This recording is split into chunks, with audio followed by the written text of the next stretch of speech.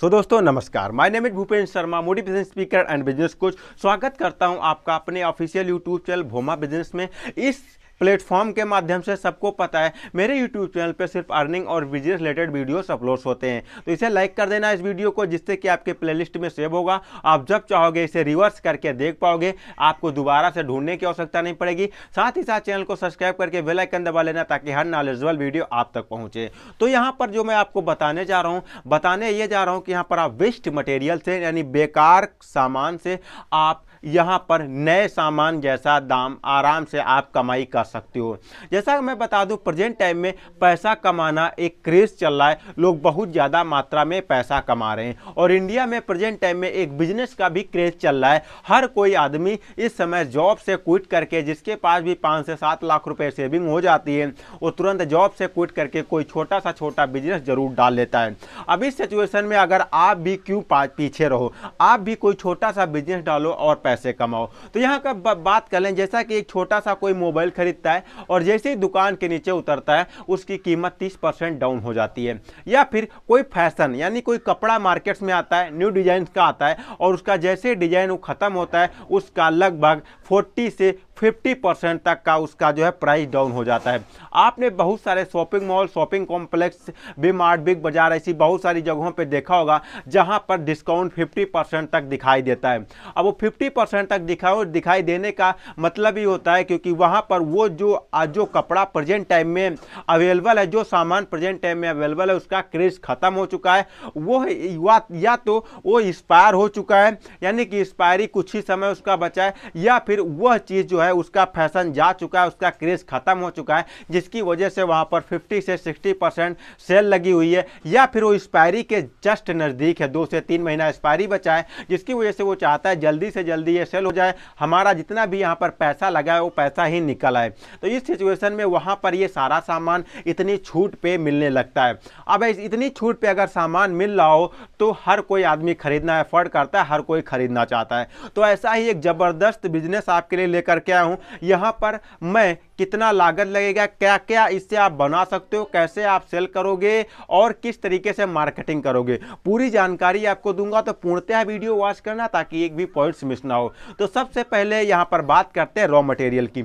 जब कोई सा भी बिज़नेस आप स्टार्ट करते हो तो उसकी सबसे इंपॉर्टेंट चीज़ आ जाती है, वो आ जाती है रॉ मटेरियल की। आपको रॉ मटेरियल कहाँ से खरीदना है? सबसे ज़्यादा पैसा एक हिसाब से रॉ मटेरियल में लगता है। कुछ बिज़नेस ऐसे हैं जिसमें ज़्यादातर पैसा आपको, आपका लगता है मशीनरी खरीदने में और कुछ बिजनेसेस ऐसे हैं जहाँ पर ज़्यादातर पैसा रॉ मटेरियल के लिए रॉ मटेरियल में लगता है। तो अगर मैं बात करूँ जो है आ, कपड़ा मैन्युफैक्चरिंग के बारे में यानी अगर आप कपड़े का बिज़नेस स्टार्ट करते हैं तो यहाँ पर ज़्यादातर पैसा आपका रॉ मटेरियल में लग जाता है। बट जो मैं बिज़नेस बताने जा रहा हूँ यहाँ पर आपका पैसा जो है ना के बराबर लगेगा रॉ मटेरियल में क्योंकि इसे हम कपड़े का रिसाइकलिंग बिज़नेस के अंतर्गत आता है। रिसाइकलिंग बिज़नेस क्या क्या हो जाता है? जो कपड़े पुराने हो जाते हैं या उनका क्रेज चला जाता है आउट ऑफ़ फ़ैशन हो जाते हैं या एक्सपायरी के जस्ट नज़दीक आ जाते हैं। उन कपड़ों से आप बिज़नेस कर सकते हैं। उन कपड़ों से आप क्या क्या बिज़नेस कर सकते हो? उन्हें रिसाइकलिंग कर सकते हो। यानी कि उनमें क्या करना है आपको? उन कपड़ों से आप जैसे कि आ, कोई जूता है और वो जूता क्या होता है?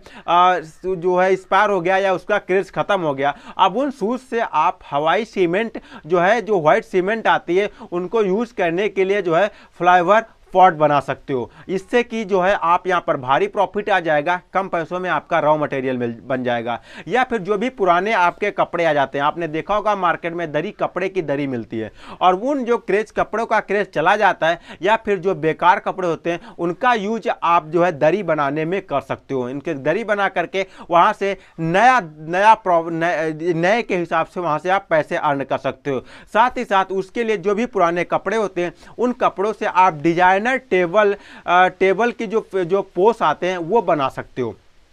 उसे बना करके मार्केट में दे सकते हो, जिससे कि वहाँ से भी आप प्रॉफिट अच्छा खासा ले सकते हो। जैसे कि मान लेते हैं, अगर जींस का क्रेज चला जाता है तो इससे आप फ्लेवर पॉट बना सकते हो, जिससे कि यहाँ से भी आप जो है भारी प्रॉफिट अर्न कर सकते हो। बहुत सारे साड़ीज वगैरह ऐसी होती है, जो बड़े बड़े जो है कपड़े होते हैं, उन कपड़ों से आप पर्दा है, पलंग पोस है, या फिर जो है पर्दा, पलंग पोस के अलावा आप यहाँ पर जो है सीट कवर बना सकते हो, तकिए के आप बना सकते हो। इन चीज़ों को बना करके उसमें थोड़ी सी डिज़ाइन डिज़ाइनिंग करके फिर उसे मार्केट्स में फिर से सप्लाई कर सकते हो और वहाँ से आपका भारी प्रॉफिट आ जाता है। भारी प्रॉफिट होने के चांसेस बढ़ जाते हैं। इनसे आप पर्दे बना करके भी भारी प्रॉफिट अर्न करते हो।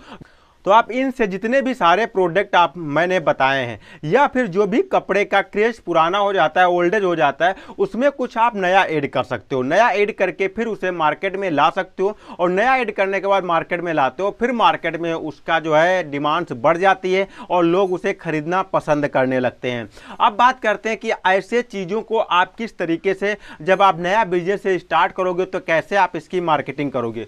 मार्केटिंग करने के लिए सबसे आसान तरीका ये है कि आप या तो सोशल मीडिया पे, जैसे अमेजोन फ्लिपकार्ट ऐसे जो मंत्रा या फिर जो है अलीबाबा डॉट कॉम जो भी ऐसे बहुत सारे प्लेटफॉर्म ऑलरेडी मार्केट में अवेलेबल हैं, इन पर आप इन्हें लिस्ट करो। लिस्ट करने के बाद फिर जो है इनके स्टोरेज आप लिमिटेड एरियाज़ में बनाओ। यानी कि लगभग 20 किलोमीटर एरिया में ताकि जो है अमेजोन या फ्लिपकार्ट के जो भी जो डिलीवरी बॉय हैं, वो वहाँ से सामान पिक करें और पिक करके जो है, जो जो भी ऑर्डर कर रहा है, उन तक पहुँचा दें।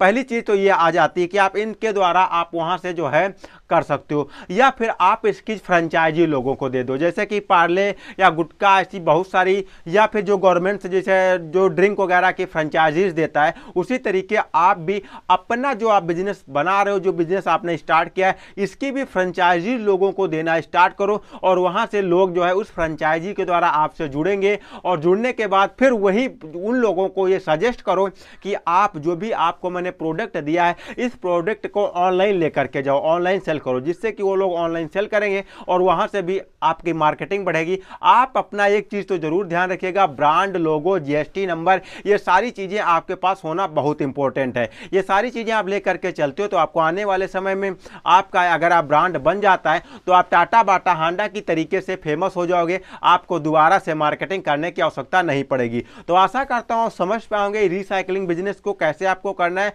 और फिर से मार्केट में अपना ब्रांड बना करके डिस्ट्रीब्यूट होना है। तो मिलता है और फैक्टेबल वीडियो में, तब तक के लिए दी इजाज़त, नमस्कार।